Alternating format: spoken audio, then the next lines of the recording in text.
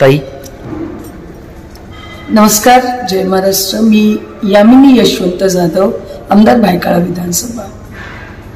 गेल्या काही दिवसातल्या घडामोडी ज्या घडत आहेत त्यामुळे महाराष्ट्रातल्या शिवसैनिकांचा उद्रेक आम्ही नक्कीच समजू शकतो. कारण आम्हीही अजूनही शिवसैनिक आहोत यापुढेही शिवसैनिक राहणार आहोत. किंबहुना हे जग सुद्धा आम्ही शिवसैनिक म्हणूनच सोडणार आहोत यशवंत जाधव साहेब त्रेचाळीस वर्ष शिवसेनेमध्ये झाले. वयाच्या सतरा वर्षापासून शिवसेनेत आहे. अनेक अडचणी आल्या.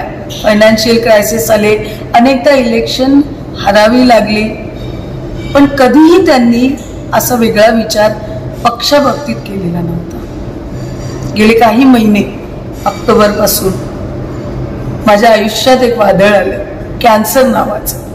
ज्यावेळेला आम्हाला समजलं माझ्या फॅमिलीला समजलं पूर्ण फॅमिली तुटली.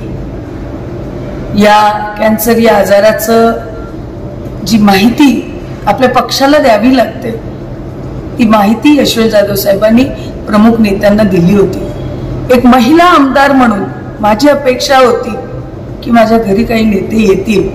आपल्या महिला आमदार कॅन्सरने त्रस्त आहेत हीच गोष्ट मोठी हलवणारी होती. मला स्वतःला कॅन्सर या शब्दाने मी कोलमडून गेली होती. फॅमिलीने माझ्या बायकाळा विधानसभेतल्या सगळ्या शिवसैनिकांनी आम्हाला खूप साथ दिली. मी त्यांचे आजही आभार मानू इच्छिते. अपेक्षा होती की माझी विचारपूस केली जाईल. एक आधाराची थाप यशवंत जाधव आणि यामिनी जाधवच्या कुटुंबाला मिळेल. पण तसं झालं नाही.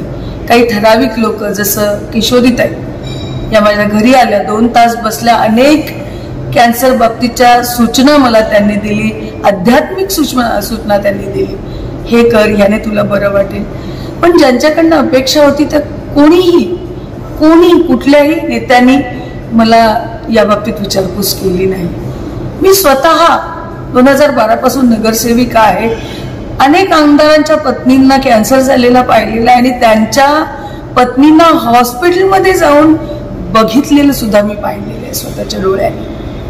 मग त्यांच्या पत्नींसारखी माझी अगदी मरणा मरणाशय्य अवस्था होणं गरजेचं होतं. मग माझ्या पक्षातले नेते मला बघायला आले असते का? ही गोष्ट कुठेतरी खलत होती मनाला. त्यातच अनेक अडचणीचा सामना माझं कुटुंब गेल्या सात आठ महिन्यापासून करत आहे. त्यातही कोणाचा आधार कोणाची मार्गदर्शन कोणाच्या कुठल्या चांगल्या सूचना आम्हाला मिळाल्या नाही. दोघेच कुटुंबासाठी हातपाय मारत राहिलो. आणि मग या निर्णयाला येऊन पोचलो. हा निर्णय घेणं सोपं नव्हतं. बऱ्याच दिवसापासूनची ही प्रक्रिया होती. मनाला आजही यातना होत आहेत. पण एक मात्र नक्की आहे की शिवसेना सोडून कुठलाही पक्ष आम्ही यशवंत जाधव आणि यामिनी जाधवने जॉईन केलेला नाही. कॅन्सरच्या अवस्थेत बायकाळा विधानसभेने जे आम्हाला समजून घेतलं किंबहुना इतिहासच शिवसैनिकांनी घडवलेला आहे. बायकाळा विधानसभा त्याच शिवसैनिकांनी आम्हाला समजून घेणं गरजेचं आहे. यामिनी जाधव आणि यशवंत जाधव शिवसेनेविरुद्ध कधीही जाणार नाहीत बैमानी कधीही करणार नाहीत. काहीतरी कारण त्याच्यामागे असेल हे शोधण्याची आज गरज आहे. आज एवढंच बोलते आणि इथेच सांगते तुमची यामिनी जाधव आमदार म्हणून एक शिवसैनिक म्हणून यशवंत जाधवांकडनं आणि माझ्याकडनं हा प्रेमाचा जय महाराष्ट्र